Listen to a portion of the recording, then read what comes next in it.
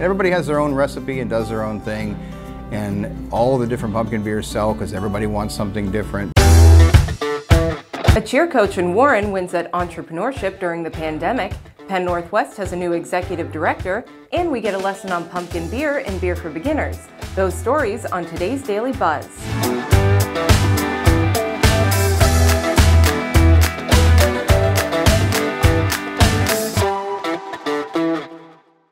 Hello, everyone. Welcome to the Daily Buzz. I'm Maggie Young, and we have made it yet again through another work week and finally arrived at Friday. And what better way to spend your upcoming weekend than cuddled up on the couch with your mid September issue of the Business Journal, which is full of all sorts of great content and stories. And one of those stories, Cheer Coach Wins at Entrepreneurship, you can find at businessjournaldaily.com today. When Andrea Hudson found herself out of work due to the coronavirus pandemic, she decided to focus her attention on growing cheer image icons, a cheer program she started 13 years ago.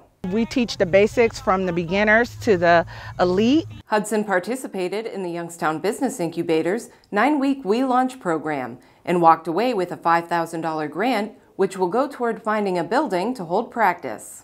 I wanted these kids to have a platform. I wanted them to have somewhere where they can feel safe and comfortable.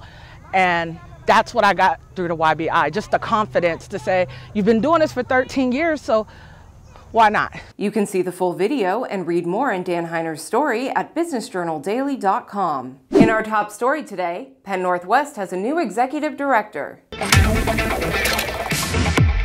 Penn Northwest Development Corporation announced Rod Wilt as the agency's newly hired executive director on Thursday. Wilt will begin his new position September 28th. He was selected from among 60 applicants and succeeds Randy Seitz. Community health clinics in two district high schools could be open in late October or early November, according to Youngstown City School District CEO Justin Jennings. Jennings said the two clinics, one at East High School and one at Chaney High School, are being established through a partnership with QuickMed Urgent Care. He said the clinics are in response to a lack of accessibility to healthcare providers within city limits.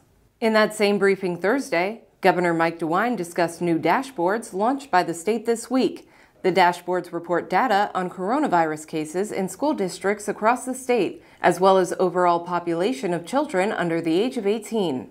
The students of the Trumbull Career and Technical Center's Animal Science Health and Technology team took first place overall at the Ohio FFA Association's Animal Management Competition, exceeding the runner up by more than 100 points. In the latest preview of our Brain Gain Youngstown Leadership Series podcast, Sarah Boyarko, COO of the Youngstown Warren Regional Chamber, discusses communicating about economic development projects.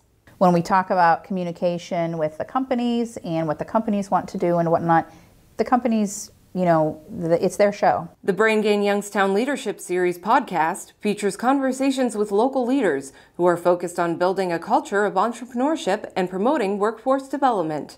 You can hear more from Boyarko in the video on our website. Well, the days are getting shorter and the nights are getting cooler, and that means fall is approaching. And when I say approaching, I mean the fall season officially begins on Tuesday next week. And along with the fall season, we can also expect to see every food and drink imaginable flavored with pumpkin, including craft beer. But what is pumpkin beer? Where did it come from? And what are some that you can try this weekend? Well, luckily for those who want these questions answered, the newest segment of our Beer for Beginners series is out today at AfterHoursYoungstown.com.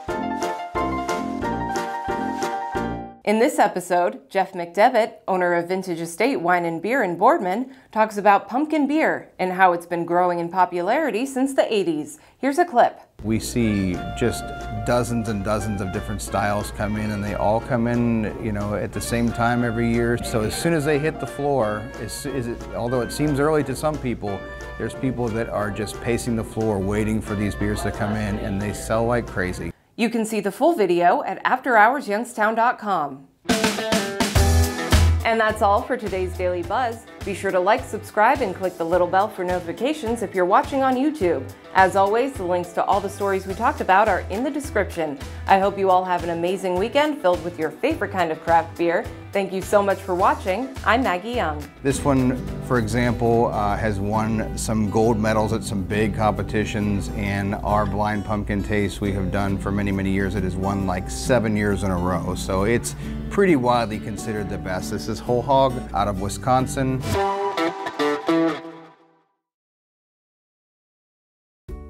717 Credit Union is paying it forward because we care about our business community. We are offering six months of free ACH and domestic wire services through small business payments when you open a free e business checking account. 717 Credit Union, we're here for your business.